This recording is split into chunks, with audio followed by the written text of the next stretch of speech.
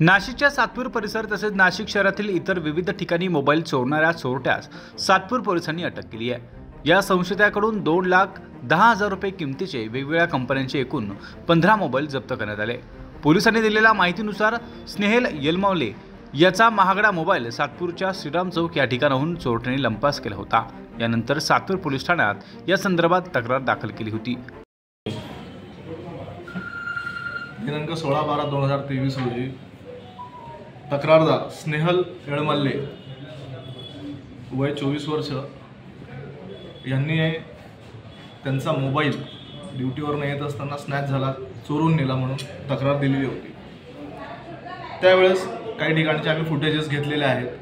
तसेच त्या ठिकाणी गोपनीय माहिती काढली. तर त्या ठिकाणी आम्हाला दोन इसम एका मोपेडवर चे मोबाईल स्नॅच करताना दिसून आले. त्याचा आम्ही गोपनीय माहिती घेऊन पाठलाग केला. तसेच त्यावर बरीच माहिती घेतली.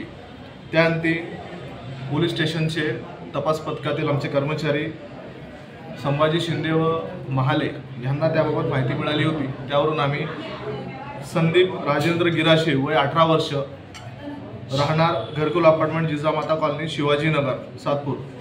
यास अटक केलेली असून त्याच्यासोबत आणखी एक विधी संघर्षित बालक आहे. त्याला देखील आम्ही ताकद घेतले होते.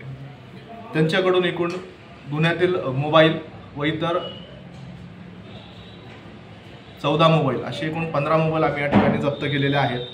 आणि त्यांचं कस्टडी कामी व गुन्ह्याचा तपास हवालदार मुसळे करत आहेत. सातपूरच्या गुन्हे शोध पथकाला मिळालेल्या गोपनीय माहितीच्या अनुषंगानं संशयित संदीप गिरासे जिजामाता चौक शिवाजीनगर याच्यासह एक विधिसंघर्षित बालकास पोलिसांनी ताब्यात घेतलाय.